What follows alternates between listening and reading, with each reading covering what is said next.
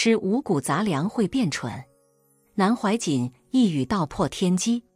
看看古籍中是怎么说的。自古以来，中国的饮食文化源远流长，是中华文明的重要组成部分。常言道：“人是铁，饭是钢。”吃饭对人的重要性不言而喻。作为人们生存和生活的基本需求，食物所提供的能量非常多。但近些年，很多科学家研究发现，人的饭量竟然和寿命直接关联。如果吃的不正确，就会缩短寿命。很多人认为这种说法是子虚乌有的，并对此表示不认可。大多数人理所应当地认为，生活中缺了什么都不能缺了吃饭。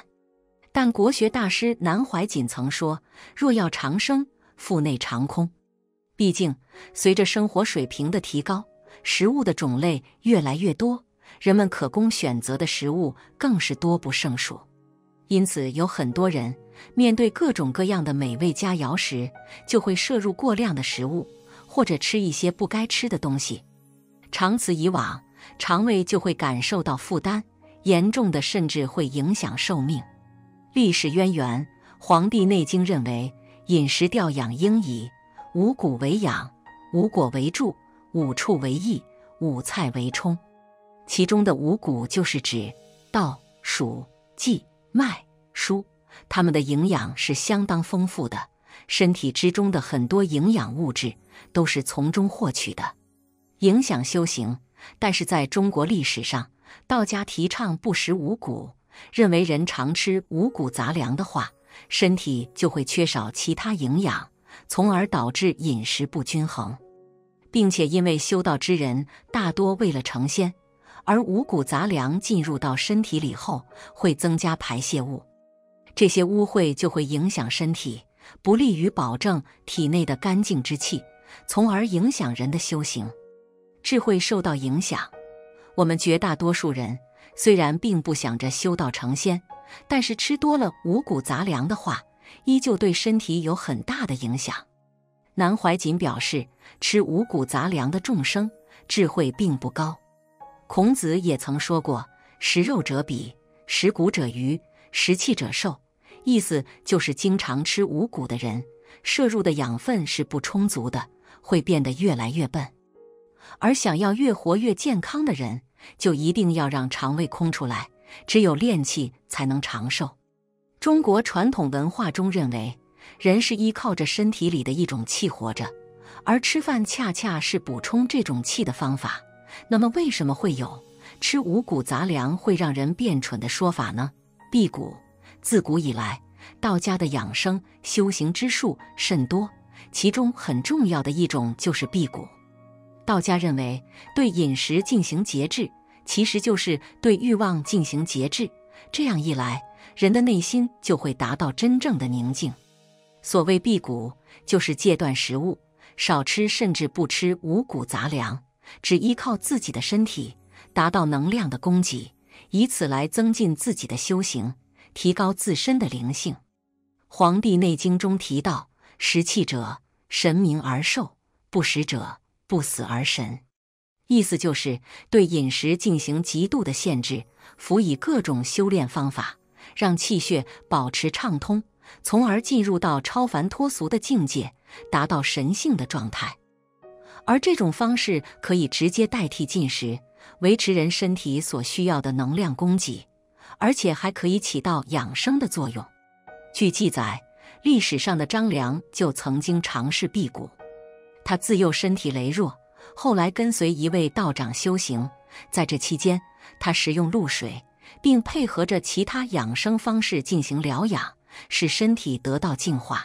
几年之后，他的身体矫健。再也没有了之前的病态。葛洪在《抱朴子》中也提到过：“余数见断古人三年两年者多，皆身青色好。辟谷可以排除毒素，使身体的气血变清净。这样的话，就可以达到延年益寿的效果。所以说，辟谷并不是让身体一直忍受饥饿，而是吸收自然的能量。大自然与人体。”自然的能量和人体息息相关，生命与自然之气之间存在一定的规律。人的各个器官都是和阴阳之气贯通的，所以身处于自然界的时候，就会感觉到神清气爽，身心非常愉悦。这就是因为大自然的能量场对身体有积极的影响，辟谷可以更好地感受到自然之气，从而吸收清新的气息，将体内的浊气排出，使身体变得洁净。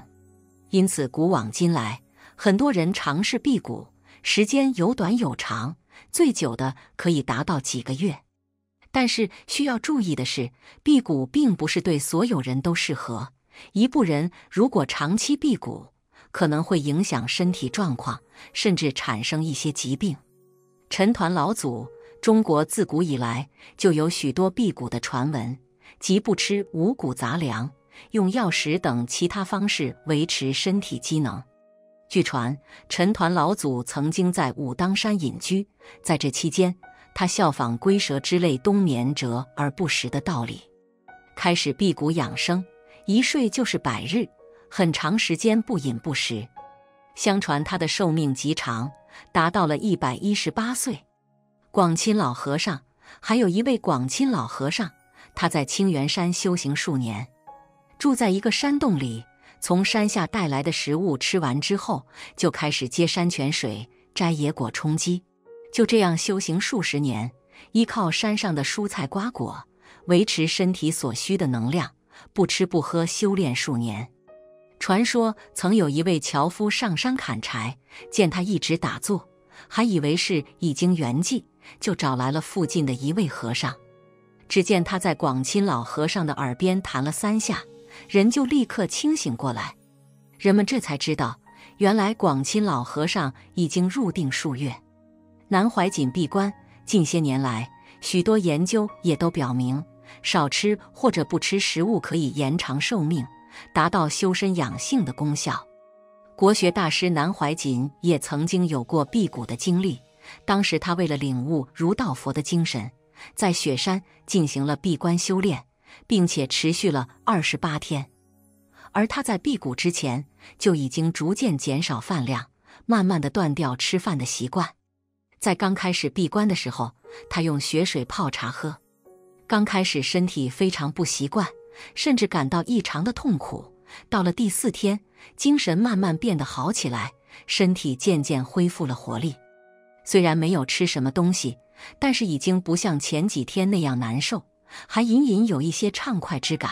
身体里的能量一直在提升。南怀瑾说：“要懂得运用气功，让胃里充满气，这样肠胃就可以运动起来。”后来有一个人也学习南怀瑾的做法。但是两个星期之后，就因为身体受不了，进了医院，而且胃切掉了一半。由此可见，辟谷并不适用于每一个人，凡事都要因人而异。结语：总的来说，辟谷是一种特别的修行方式，它通过独特的方法调养身体，让各器官与环境达到天人合一的效果，将灵性都散发出来。如此一来，身体里的杂念就会消失，整个人会变得神清气爽。延伸，五谷是哪五谷？古代有五谷的说法，但五谷是哪五谷说法可就有分歧了。通常的说法是，五谷指稷、稷、黍、黍、麦、菽、菽、麻。五谷是古代基本的农产品，是古人的基本粮食。五谷之外。还有六谷的说法，六谷是稻、稷、黍、麦、菽、麻。比起五谷来，六谷只多了一种稻。稻为什么不是一开始就在五谷里面呢？原来水稻本来是南方作物，是到了后来才传到北方来的。稷，稷就是谷子，脱壳后是小米。我国古代很长一段时期中，稷都是最重要的粮食之一。古人把稷作为五谷之长，以稷代表谷神，谷神和社神、土神合起来叫做社稷。后来，社稷发展成为国家的代称。黍，黍就是黍子，又叫黄米。黍味道较好，在上古时代也是重要的粮食作物。麦，麦分为大麦、小麦、燕麦、黑麦等。种植比较广的是大麦、小麦。古代小麦叫来，大麦叫秣。菽菽就是豆，上古时代只叫做书，汉代以后才开始叫做豆。麻麻指大麻子，麻在古代不是主要的粮食作物，但也供食用。古人常丝麻、桑麻并用，这里的麻指的是大麻的纤维，不是指麻子。